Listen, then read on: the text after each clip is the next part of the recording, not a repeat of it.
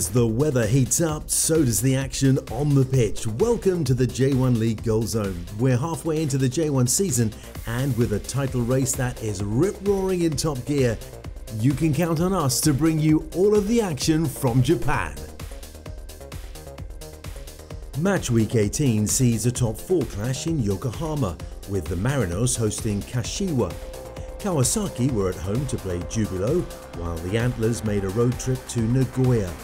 Kobe were up against Urawa, and Kyoto were at home against Shonan. A contest between two of the top four to start the weekend, with the league leaders on a three game winning streak.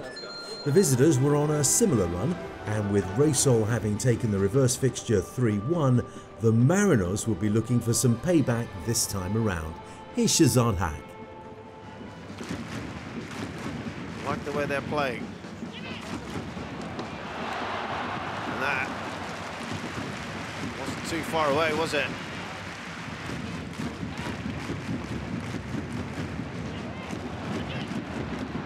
That loops over the keeper. Oh, it didn't look like it was going to be a problem. Nishimura breaks the deadlock. It's six goal of the season.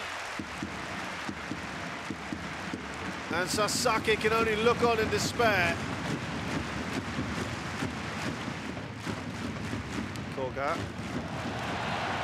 Now they can make it two. Well, well, well. Defensive woes at the moment. They've just switched off, haven't they, Reysol, and it's gone from bad to worse. There you go, simple tap in there for Leo Ceará. Only his third goal of the season. The man from Victoria. Looking for a bit of movement here, Matsubara. Ceará just it down. Oh, he's got the freedom there, and it's all too easy again. How's he got through that defence? Kota Mizunuma doesn't care. He's got the third goal. He's absolutely smashed that in for his fourth of the campaign. And they are rampant now.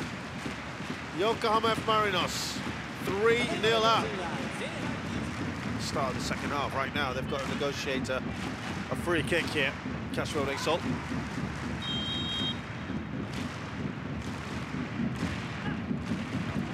A good ball in, and it's bundled into the goal. What a nightmare of a start for Kashiwa Reysol. They're the ones who desperately needed a goal at the start of the second half. But it's Yokohama. Marinos who make it four. And a puff of the cheeks here from Nelsinho. And uh, pretty much put Kashiwa Reysol out of his misery, which he proceeds to do right now. Leo Ceará has two goals. Kota Mizunuma also with one, as well as Takuma Nishimura. They have dominated this match from start to finish. The final score here at the Nissan Stadium, it's Yokohama F. Marinos 4, Kashiwa Reysol nil. Yeah, the result is obviously very, very pleasing, but um, it's the manner that we achieved the result. Uh, performance was uh, excellent for large parts of the game. The performance was excellent. Our first half was so dominant, uh, and we only had a short time to prepare. Uh, so the staff uh, fantastic in the preparations, and the the players performed really well. Avispa's poor run of form continued as they went down to Shimizu last time out leaving them without a win in three. Their opponents came into this contest unbeaten in five and certainly looked capable of collecting another victory here. Avispa with a chance from the corner just after the quarter hour mark, and they came desperately close. Shun Nakamura outswinging this one, Yuya Yamagishi getting there first, but his header glanced just beyond the far post. Looking to build on that in the 28th minute, they gave the ball away in their own half. Ben Khalifa retrieves it, makes a lovely pass to his right, and Makoto Mitsuta with a beautiful finish from just inside the penalty area.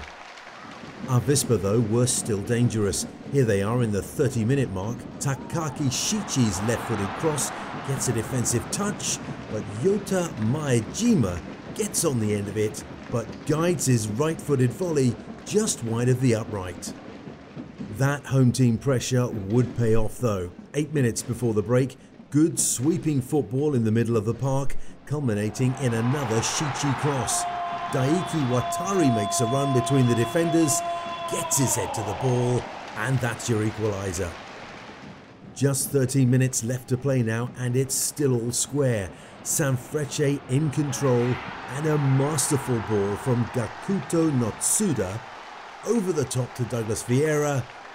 He lobs the goalkeeper, and the visitors are 2 1 up.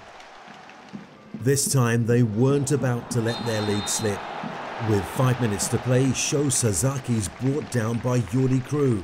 The referee sees that as a clumsy challenge from behind, points to the spot, and Vieira's stuttering run gives him a second goal of the night, and Sanfrecce a 3-1 win on the road. After failing to win their last three, Frontale made a spectacular return by thumping five past Consadole last week They'd be looking to follow up with another positive performance when they played Jubilo, the visitors having no wins in six on the road. Rish Roshan Rai has your commentary.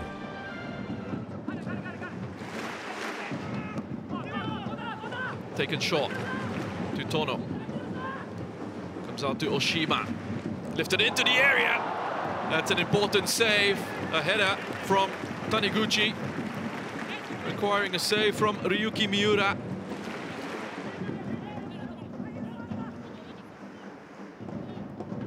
Wakizaka. Back to Oshima. Taniguchi. Lots of space to advance ahead of him. Picks out a lovely pass to Yamane! And that's a fine finish. They just get the overload down the right-hand side of the pitch. Have a look at that run from Miki Yamane. He's onside, there's no doubt about that. But what about that finish? A touch of class from Miki Yamane. Yu Kobayashi. In fact, I think that's what he was doing. You see on that replay, it's come off his shin. I don't think he meant that finish. Here's Endo. Sugimoto in space behind Frontale's midfield. Can't make the most of it. Chanatip burst forward here. Lovely first touch to take it past that defense. Oh, it's come off the post. A golden opportunity for Chanatip to get his first goal for Kawasaki Frontale. And the second for his side on the night. Endo lasting the pace, looking to deliver.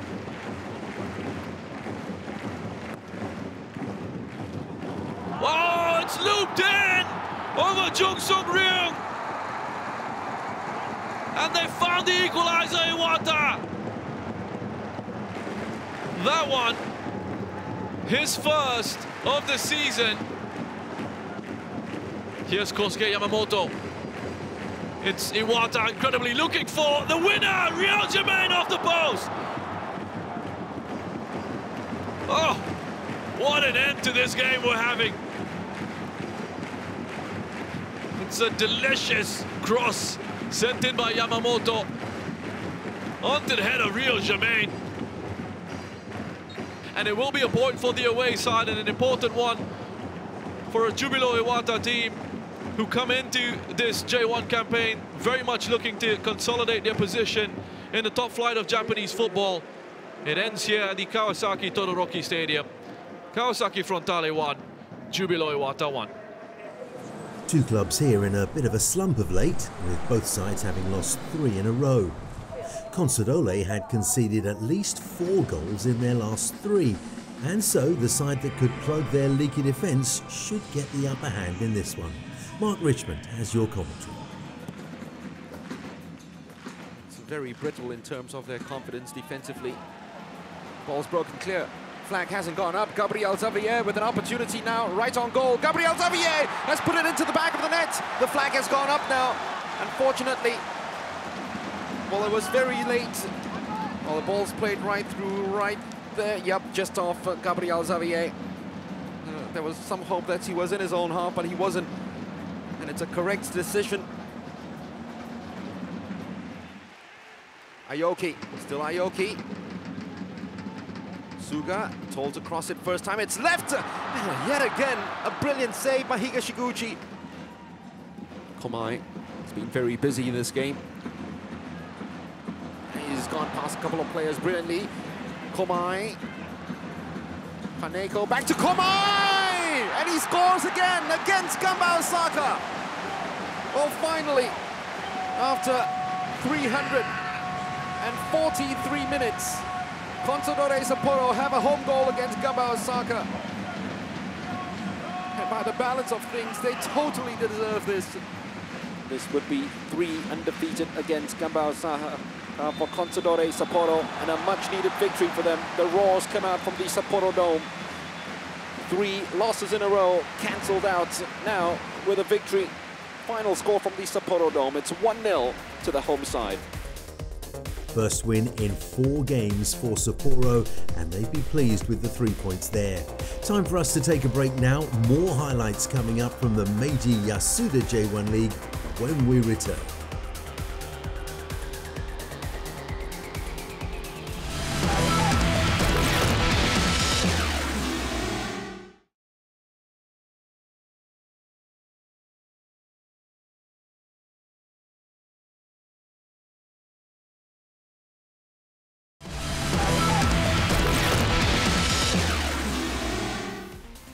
Good to have you back with us here on the second half of the J1 League Goal Zone.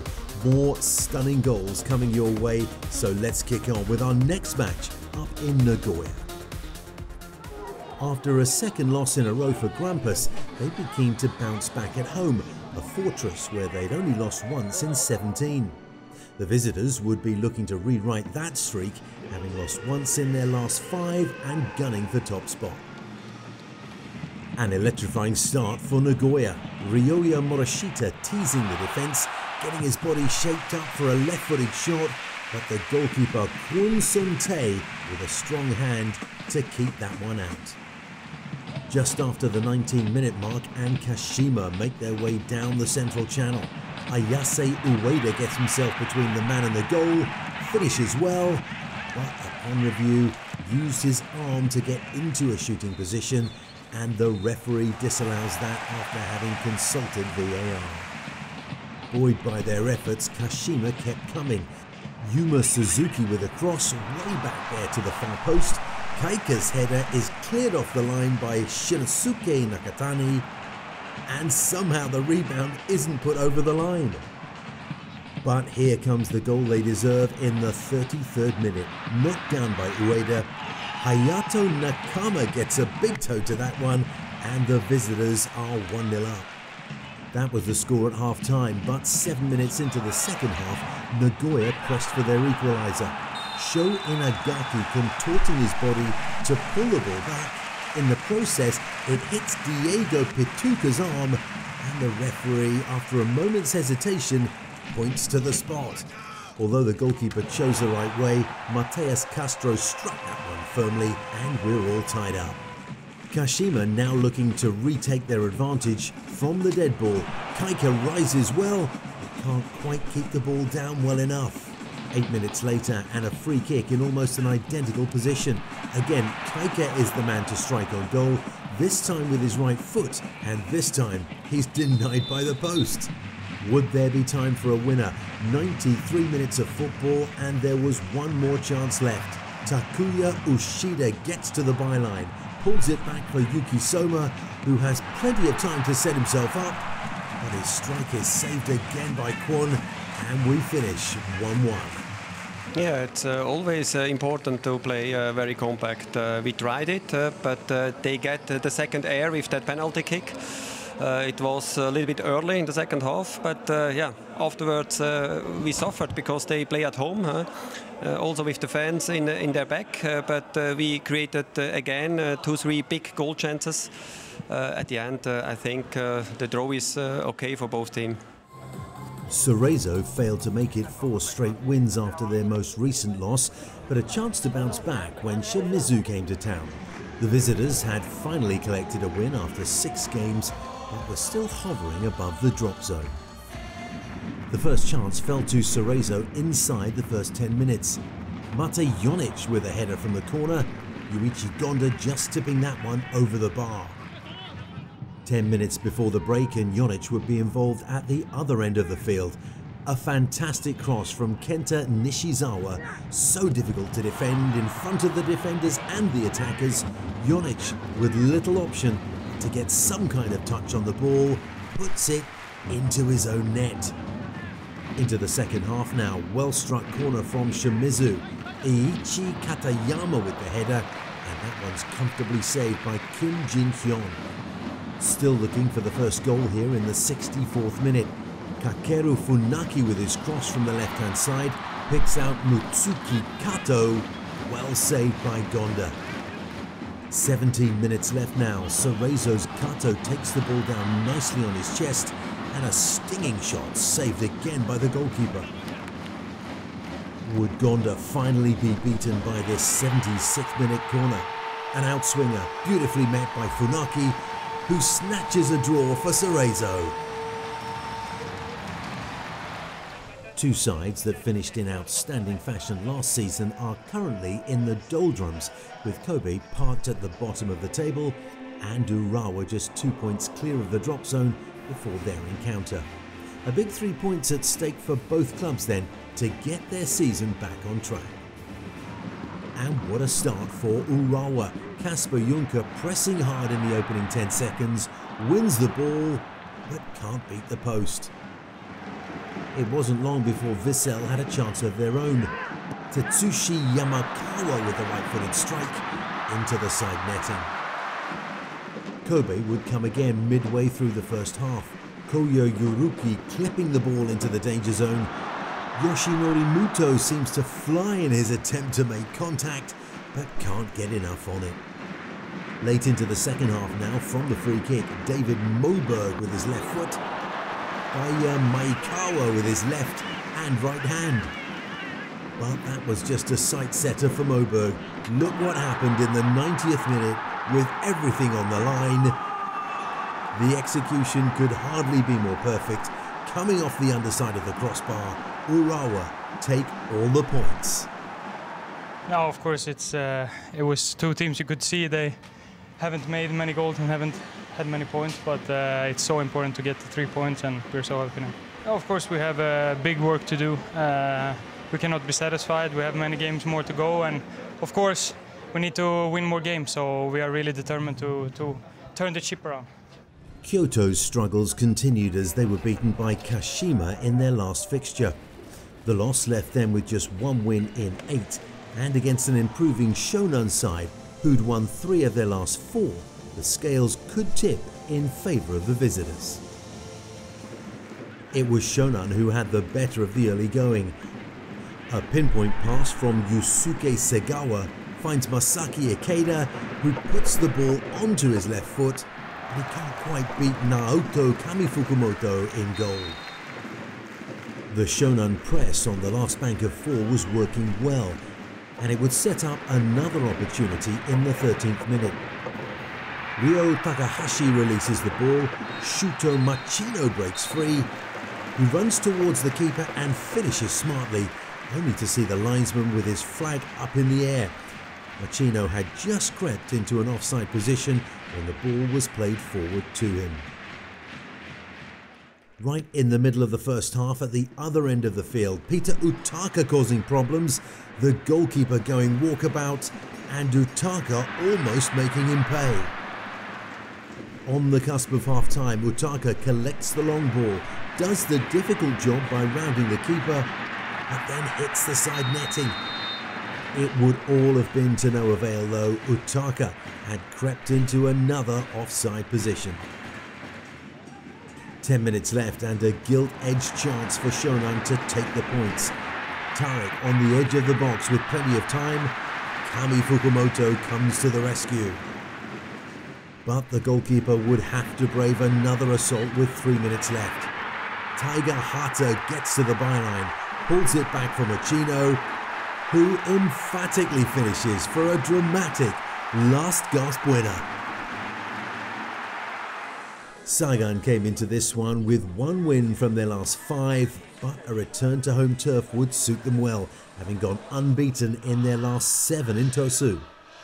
Tokyo had picked up a loss in their last round and with just one win from six on the road, could have it all to do in this contest. Here's Shazad again. From uh, Morishige, out wide. Watanabe. Lovely return ball, Watanabe. Can he get there first? Adailton! That's their best chance by far, FC Tokyo. That's much, much better. Park Hyo-kyu deals with it pretty well. That was straight at the goalkeeper, effectively, wasn't it? Oh, carelessly given away. And they're looking to win it back immediately. No foul, says the referee. Iwasaki, Iwasaki! Oh, brilliant goal! From distance. They'd been threatening earlier, Sagan Tosu. FC Tokyo had just started getting into this match. And all of a sudden, it's Tosu who have taken the lead with a stunning goal. What a shot that is, yet an earlier effort from range. Shimakawa's given the ball away. Nagai, now Adailton, lovely back heel. What a chance that is. That is a great opportunity. Here's Diego storming forward. Now Iwasaki does well to get the cross in. Diego! He hits that in! Big deflection along the way. The centre-back, the marauding Brazilian, stayed up there with the attack for his very first goal ever in J-League football, in J1. Well, that's taken it past Slowik. And that is a dream start to the second half for Sagan Tosu.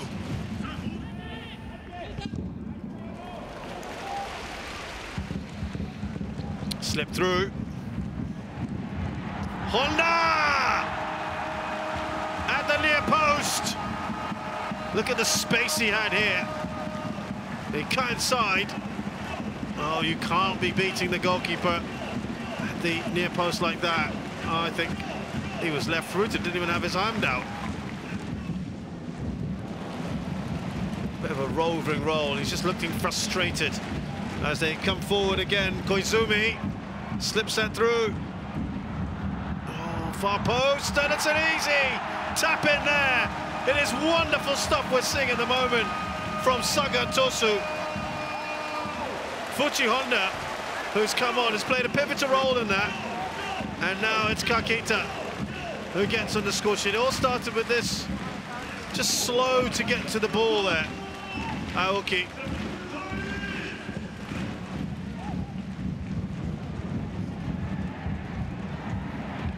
Kakita. Kakita! What a goal! He arrows that into the far corner. And this is a rout now. What a brilliant strike from him. Well, they might want to think about making his move permanent the way he's playing. Absolutely superb. And is there going to be more? Well, they're hungry. Oh, that slit the crossbar. What a goal that could have been from Naoki Fujita. And that is the biggest defeat of the season so far for FC Tokyo at the hands of Sagan Tosu, who have been absolutely magnificent. It ends here at the Ekimae Real Estate Stadium. Sagan Tosu 5, FC Tokyo nil. Here's a roundup of the scores from match week 18 then, with the Mariners resounding in victory. 4-0 over Kashiwa. Sanfrecce with another win, 3-1 over Avispa. Frontale held to a 1-1 draw by Jubilo, with Nagoya and Kashima, Cerezo and Shimizu sharing the same scoreline. Vissel failed to win again, this time losing 1-0 to Urawa. Yokohama keep their pace at the top, 37 points, and with a three-point lead over Kashima and Kawasaki. Sanfrecce moved into fourth on 30 points, and Sagan also move up a couple of notches, they are sixth on 27. Urawa moving closer into the top half with their win in 10th and tied on points with Nagoya. Kyoto dropped into the bottom half after another loss and sit in 12th with three teams just a point behind. Gamba and Shimizu with the unfortunate honours of sitting in the drop zone after this round, both sides on 17 points, while Kobe are still firmly entrenched in last place. With that, we've come to the end of another wonderful edition of the J1 League Goal Zone. You know where to find us for more of the same electrifying action. My name's Steve Dawson, and we'll see you next time.